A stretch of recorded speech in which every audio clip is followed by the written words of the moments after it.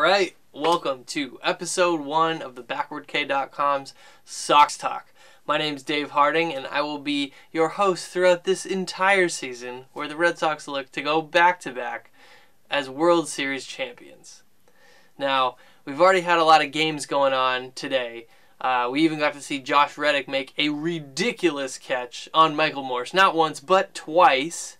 And on Twitter, he was telling Morse that he now owes him dinner, and rightfully so. So, tip of the cap to you, Josh Reddick. But now let's talk about my Red Sox.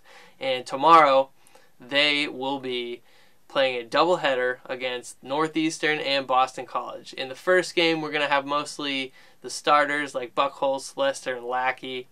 And in the second game, we're going to have uh, on the mound like guys like Workman, uh, the middle relievers, Henry Owens, uh, maybe some Drake Britton, maybe some High Five City. So a couple prospects that I'm really stoked on this year is Blake Swihart and Christian Vazquez. Now Vazquez has been working with Jose Molina in the offseason, uh, trying to get quicker out of the crouch and throwing down to second, but the guy's already blazing fast at that.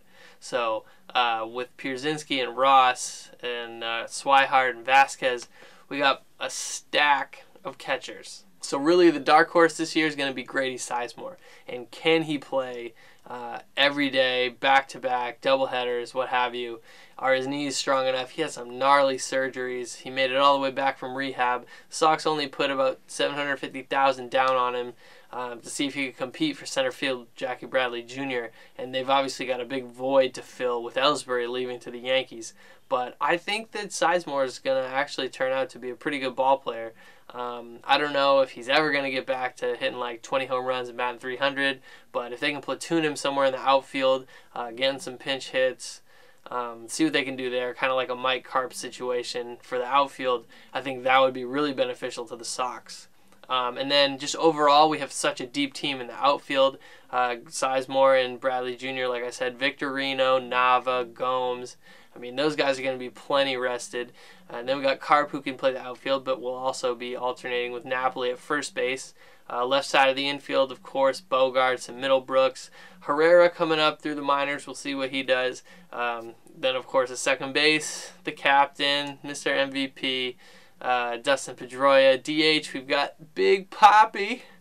Just pay the guy, right? I mean, come on, just just pay him. Come on, you know, just give him the money. Like extend him.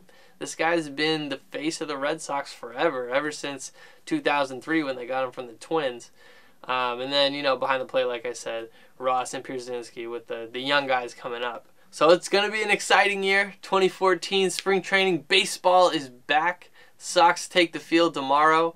Uh, I'll be having a video recap after every Sox game, so you can look for a lot of content coming from me and from the backwardk.com. If you want to follow me, check me out on Twitter at Davis Media. And another special announcement I want to make is I'm going to be doing a podcast with my homie from LA.